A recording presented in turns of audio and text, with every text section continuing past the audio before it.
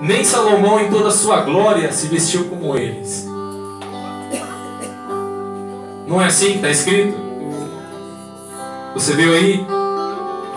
O versículo 34 diz assim: Olha, não vos inquieteis, pois pelo dia de amanhã, porque o dia de amanhã cuidará de si mesmo, basta cada dia seu mal. O que o texto quer dizer, resumindo o que Jesus queria dizer, é que as pessoas têm colocado muito o seu coração nas coisas materiais, naquilo que é perecível, é, tem preocupado com o seu serviço, será que vão mandar embora daquele emprego e depois aonde que eu vou entrar? Será que eu vou perder o meu carro está duas parcelas atrasadas? Eu estou aqui pagando aluguel, será que o dia de amanhã eu tenho dinheiro para pagar o aluguel? Jesus estava dizendo basicamente isso. Agora deixa eu explicar para você o conceito do reino de Deus. Na verdade, João, na verdade a Bíblia diz assim que Adão e Eva estava lá, foram mandados embora do paraíso, expulsou ele. Jesus falou: Não, vamos colocar eles para fora daqui, porque eles já morreram, ou seja, pecaram. Aí Deus viu a humanidade desse jeito, do pecado, da morte, queria dar um jeito para que a humanidade viesse a ter novamente um relacionamento com Ele. Nota aqui como a gente volta com um relacionamento. E a Bíblia diz assim que eles foram povoando a terra e enchendo a terra, e Deus precisava de alguém para constituir uma nação e um povo. E Deus escolhe quem? Abraão. Aí Deus faz a promessa: Abraão, de ti será bendita todas as nações. Mas para Deus abençoar todas as nações, precisava de um povo. E qual é o povo que Deus escolheu? Como a menina dos teus olhos, para ser exemplo para todas as nações? o povo de Israel. Diga comigo, povo de Israel. Povo de Israel. Diga mais alto, povo de Israel.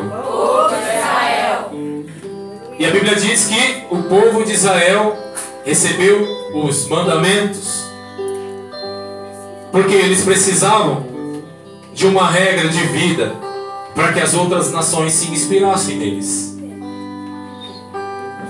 E nota que a palavra aqui, ó, buscai primeiro o reino dos céus. Quando você ouve a palavra reino, todo reino, todo reinado tem um rei. É óbvio.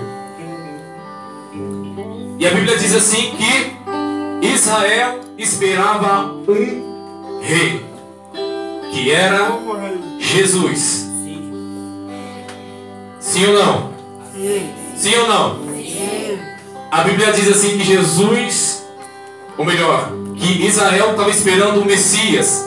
Isaías havia profetizado várias vezes acerca do Messias. E a Bíblia diz assim que nasceu um, que o seu nome era João Batista, filho de Isabel. E a Bíblia diz que ele veio no deserto pregando e dizendo o quê?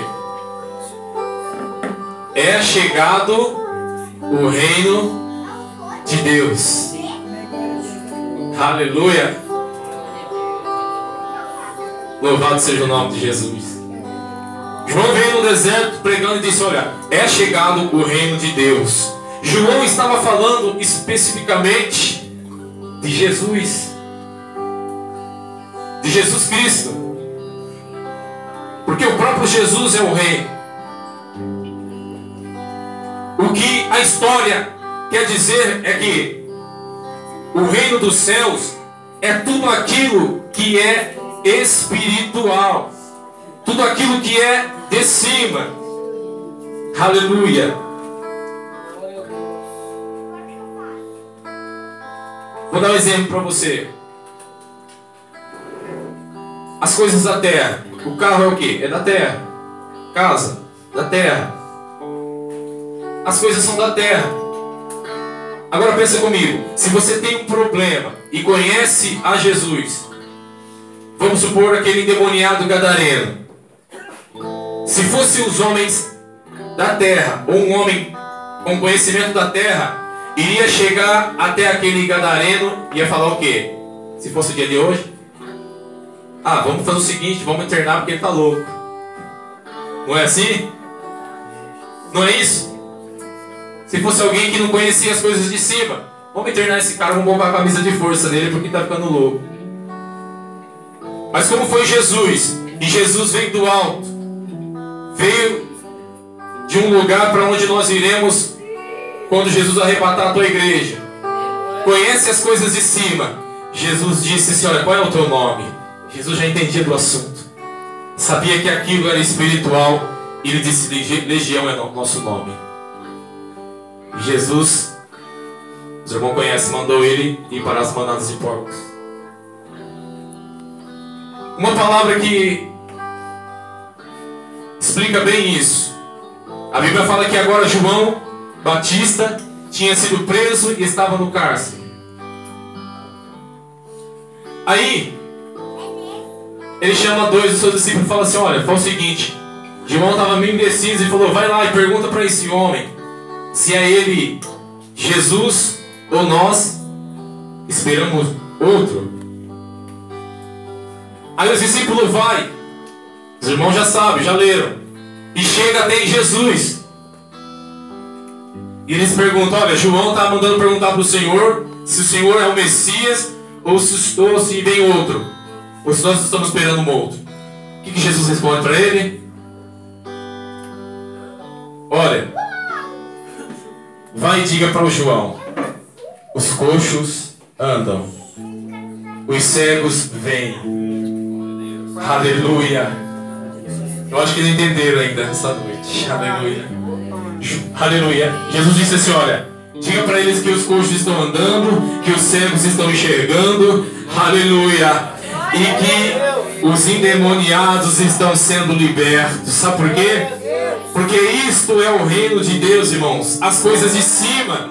Isso é o verdadeiro reino de Deus. Jesus estava dizendo para ele: Eu sou o reino de Deus e eu já cheguei. E eu estou fazendo essas coisas porque essas coisas são de cima. Então quem é carnal não entende as coisas do alto. Mas quem é espiritual já era para estar tá dando glória, aleluia. Levantando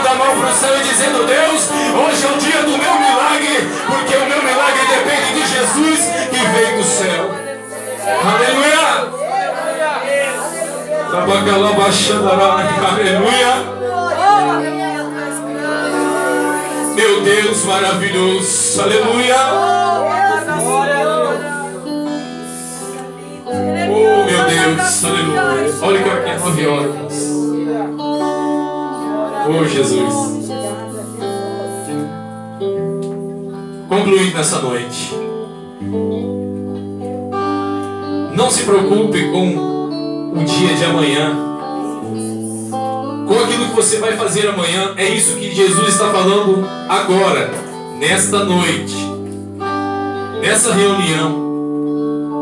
Jesus manda dizer para alguém aqui: não se preocupe no dia de amanhã. A sua conta lá já não tem mais nada? Está atrasado? Jesus está dizendo essa noite: Deixa que eu cuido disso. O que eu quero que você faça no presente momento. O presente momento que eu falo é durante a tua vida. Olha para cima. Busca o reino dos céus. Quando nós lemos aqui, antes do buscar o reino dos céus, tem uma palavrinha que muda tudo.